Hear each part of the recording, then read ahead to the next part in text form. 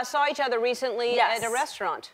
We did, we did. I accidentally um, crashed a party that you were Yes. throwing, so that was um, well, embarrassing for me. Didn't fully crash it. We were having a, a, a Portia's birthday party, and uh, that's a great restaurant, isn't it? Lovely It's- restaurant. I will say the name of it because I go. It's it's Crossroads. It's, It's a great so restaurant here, and it's all vegan. Everything's and vegan. it's delicious. It's so good. Everyone goes there whether they're vegan or not. It's yeah, that- it's true. It's I'm not good. vegan, but I go Yeah. there and I love it. It's delicious. Yeah.